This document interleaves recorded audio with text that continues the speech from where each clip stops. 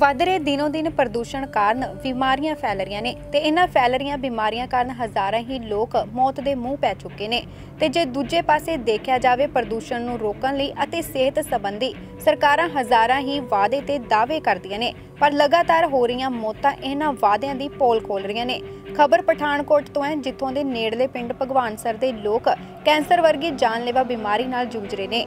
ਇਸੇ ਚਲਦਿਆਂ ਪਿਛਲੇ ਥੋੜੇ ਸਮੇਂ ਤੋਂ ਹੀ ਇੱਥੇ ਕਈ ਮੌਤਾਂ ਹੋ ਚੁੱਕੀਆਂ ਨੇ।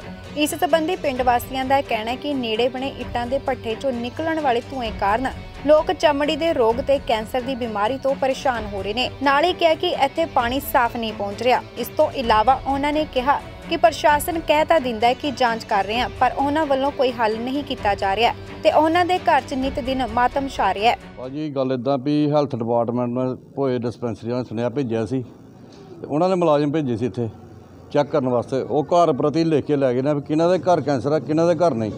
ਹੁਣ ਇਦਾਂ ਦਾ ਪਤਾ ਨਹੀਂ ਲੱਗਿਆ ਵੀ ਕੈਂਸਰ ਕਿਹਨੂੰ ਆ, ਬਿਨਾਂ ਟੈਸਟ ਕੀਤੇ। ਤੇ ਹੁਣ ਗਰੀਬ ਲੋਕੀ ਕਿੱਥੇ ਜਾਣਗੇ? ਉਹਨਾਂ ਕੋਲ ਦੇ ਇੰਨੇ ਕੁ ਪੈਸੇ ਦੀ ਕੰਪੈਸਿਟੀ ਹੈ ਉਹ ਆਪਣਾ ਇਲਾਜ ਜਾਂ ਟੈਸਟ ਕਰਾ ਕੇ ਉਸ ਚੀਜ਼ ਨੂੰ ਸੈਟੀਸਫਾਈ ਕਰਨ ਹਨ ਕੈਂਸਰ ਦੀ ਪ੍ਰੋਬਲਮ ਹੈ ਕਿ ਜਾਂ ਨਹੀਂ। ਸਾਡੀ ਇੱਕ ਬੱਚੀ ਮਰੀ ਆ ਗਰੀਬ ਪਰਿਵਾਰ ਚੋਂ ਸੀ। ਤੇ ਉਹਦੀ ਇੰਨੀ ਕੁ ਹਾਲਤ ਮਾੜੀ ਸੀ ਉਹਦਾ ਬਾਪ ਦਿਹਾੜੀ ਮਜ਼ਦੂਰ ਸੀ। ਤੇ ਜਿਹੜੇ ਭੱਠਿਆਂ ਦੇ ਪ੍ਰਦੂਸ਼ਣ ਨਾਲ ਤੇ ਪਾਣੀ ਦੀ ਸਮੱਸਿਆ ਦੇ ਨਾਲ ਜੂਝ ਰਹੇ ਲੋਕੀ ਜਿਹੜੇ ਪਿੰਡ ਦੇ। ਇਹ ਅਸੀਂ ਜੇ ਭੱਠਿਆਂ ਨਾਲ ਗੱਲ ਕਰੀਏ ਤੇ ਅਸੀਂ ਅੰਡਰ ਪ੍ਰੈਸ਼ਰ ਆ ਪੋਲੀਟੀਕਲ ਦਬਾਅ ਰਹਿੰਦੇ ਸਾਡੇ ਤੇ। ਅਸੀਂ ਬੋਲ ਨਹੀਂ ਸਕਦੇ ਸਿੱਧੀ ਬਦਰੀ ਗੱਲ ਹੈ। ਤੇ ਤਿੰਨ ਭੱਠੇ ਆ। ਤਿੰਨਾਂ ਭੱਠਿਆਂ ਦੀ ਇੰਨੀ ਕੁ ਸਾਨੂੰ ਜ਼ਿਆਦਾ ਹਾਲਤ ਸਾਡੀ ਗੰਭੀਰ ਹੈ ਨਾ, ਸਾਡੇ ਘਰਾਂ ਦੇ ਵਿੱਚ ਡਸਟ ਇੰਨੀ ਕੁ ਆ ਜਾਂਦੀ ਵੀ ਅਸੀਂ ਕੱਪੜੇ ਸੁਕਾਉਣ ਤੋਂ ਵੀ ਦੁਖੀ ਆ ਸਾਹ ਲੈਣ ਦੀ ਤਾਂ ਗੱਲ ਹੀ ਛੱਡਦੇ ਹਾਂ। ਅਸੀਂ ਬੱਚਿਆਂ ਨੂੰ ਚੰਗੀ ਆਪਣੇ ਸਿਸਟਮ ਦੇ ਨਾਲ ਆਪਣੇ ਬੱਚਿਆਂ ਦਾ ਸੁਧਾਰ ਨਹੀਂ ਕਰ ਸਕਦੇ, ਇੰਨੀ ਕੁ ਗੰਦਗੀ ਸਾਡੇ ਘਰਾਂ ਦੇ ਵਿੱਚ ਜਾ ਰਹੀ ਆ। ਪਰ ਅਸੀਂ ਕਿਹਨੂੰ ਦੱਸੀਏ? ਨਾ ਸਾਡਾ ਹੈਲਥ ਡਿਪਾਰਟਮੈਂਟ ਸੁਣ- ਸੁਣਦਾ। ਜਿਹੜੀ ਡਿਸਪੈਂਸਰੀ ਜਿਹਨਾਂ ਦੀ ਡਿਊਟੀ ਲੱਗੀ ਹੈ ਪਿੰਡ ਚੈੱਕ ਕਰਨ ਵਾਸਤੇ, ਉਹਨੇ ਸਾਨੂੰ ਕਦੇ ਪੁੱਛਿਆ ਨਹੀਂ ਆਣ ਕੇ ਵੀ ਪਤਾ ਨਹੀਂ ਸਾਨੂੰ ਪਤਾ ਕਿੱਥੇ ਚੈੱਕ ਕਰਦੇ ਕਿੱਥੇ ਨਹੀਂ ਕਰਦੇ। ਤੇ ਚਮੜੀ ਦੇ ਰੋਗ ਵੀ ਆ ਸਾਡੇ ਪਿੰਡ ਬਹੁਤ ਜ਼ਿਆਦਾ ਪ੍ਰੋਬਲਮ ਹੋਣ ਜੀ। ਕੈਂਸਰ ਦੀ ਤੇ ਬਹੁਤ ਜ਼ਿਆਦਾ ਪ੍ਰੋਬਲਮ ਹੈ ਜੀ। ਇਹ ਹੁਣ ਇਹ ਨਹੀਂ ਪਤਾ ਲੱਗਾ ਪਾਣੀ ਦੀ ਪ੍ਰੋਬਲਮ ਤੋਂ ਹੋਣ ਜਾਂ ਹੋਰ ਆਪਣੇ ਪ੍ਰਦੂਸ਼ਣ ਨਾਲ ਹੋ ਰਿਹਾ। ਸਾਨੂੰ ਬਹੁਤ ਜ਼ਿਆਦਾ ਸਾਡਾ ਪਿੰਡ ਜਿਹੜਾ ਭਗਵਾਨ ਸਰ ਹੈ ਇਹ ਸਮੱਸਿਆ ਨਾਲ ਜੂਝ ਰਿਹਾ ਜੀ। ਮੇਰਾ ਖਿਆਲ ਦਸੰਬਰ ਤੋਂ ਬਾਅਦ ਕੋਈ 15 ਕੁ ਮੌਤਾਂ ਹੋ ਗਈਆਂ ਅ, 2019 ਤੋਂ ਬਾਅਦ। ਤੇ 20 ਦੇ ਵਿੱਚ ਜਿਹੜੀਆਂ 10 ਮਹੀਨੇ ਵਿੱਚ ਮੇਰਾ ਖਿਆਲ ਕੋਈ 15 ਕੇਸ ਹੋ ਗਿਆ 15 ਕੇਸ ਹੋ ਗਏ ਨੇ। ਤੇ ਇਸ ਤੋਂ ਬਾਅਦ ਕੋਈ 40 ਦੇ ਕਰੀਬ ਕਰੀਬ ਜਿਹੜੇ ਕੈਂਸਰ ਦੇ ਮਰੀਜ਼ ਹੀ ਗਏ ਆ ਤੋਂ 4-5 ਸਾਲ ਤੋਂ। ਬਹੁਤ ਜ਼ਿਆਦਾ ਪ੍ਰੋਬਲਮ ਹੈ ਜੀ।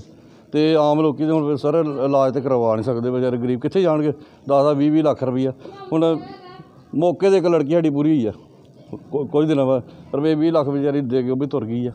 ਤੇ ਦੱਸੋ ਹੁਣ ਗਰੀਬ ਲੋਕ ਕਿੱਥੇ ਜਾਣਗੇ ਜੀ? ਤੇ ਸਾਨੂੰ ਪ੍ਰਦੂਸ਼ਣ ਨਾਲ ਬਹੁਤ ਜ਼ਿਆਦਾ ਸਾਨੂੰ ਪ੍ਰੋਬਲਮ ਹੈ ਜੀ। ਇਸ ਦੇ ਨਾਲ ਹੀ ਉਹਨਾਂ ਮੰਗ ਕੀਤੀ ਹੈ ਕਿ ਜਲਦ ਹੀ ਉਹਨਾਂ ਦੀ ਇਸ ਗੰਭੀਰ ਸਮੱਸਿਆ ਦਾ ਹੱਲ ਕੀਤਾ ਜਾਵੇ। ਇਹੋ ਹੀ ਆ ਵੀ ਜਿਹੜਾ ਵੀ ਸਾਲ ਦੇ ਵਿੱਚ ਚਾਰ ਚਾਰ ਪੰਜ ਪੰਜ ਜੀ ਜਾਣ ਰਹੇ ਨੇ। ਸਾਨੂੰ ਬਸ ਕੋਈ ਇੱਕ ਜਾਂਦਾ ਤੇ ਦੂਜੇ ਦੀ ਆਏ ਅ, ਦੂਜੀ ਦੱਥ ਨਹੀਂ ਹੁੰਦੀ ਤੇ ਦੂਜੀ ਫੇਰ ਹੋਈ ਜਾਂਦਾ ਆ। ਸਾਨੂੰ ਬਸ ਇਹੋ ਹੀ ਪ੍ਰੋਗਰਾਮ ਹੋਰ ਕੋਈ ਸਾਨੂੰ ਕੋਈ ਨਹੀਂ ਆ। ਇਹ ਆ ਵੀ ਕਾਰਨ ਕੀ ਹੈਗਾ ਕਾਰਨ ਇਹ ਨਹੀਂ ਪਤਾ ਵੀ ਪਾਣੀਆਂ ਦੇ ਵੀ ਸਾਨੂੰ ਵੀ ਹੋ ਸਕਦੀ ਹੈ ਤੇ ਹੋਰ ਵੀ ਕੁਝ ਭੱਠੇ ਦੇ ਵੀ ਲਾਗੇ ਹੈਗੀ ਹੈ ਤੇ ਜੇ ਬਾਹਰ ਜਾਈਏ ਤਾਂ ਮੂੰਹਾਂ ਦੇ ਧੂੜਾਂ ਪੈਂਦੀਆਂ ਨੇ ਘਰ ਧੂੜ ਪਈ ਜਾਂਦੀ ਹੈ ਕੋਈ ਪਤਾ ਨਹੀਂ ਲੱਗਦਾ ਹੈਗਾ ਸਾਹਿਬ ਜੀ ਹੁਣ ਸਾਨੂੰ ਇਹੋ ਹੀ ਹੈ ਵੀ ਸਾਡਾ ਕੋਈ ਹੱਲ ਹੋਣਾ ਚਾਹੀਦਾ ਹੈ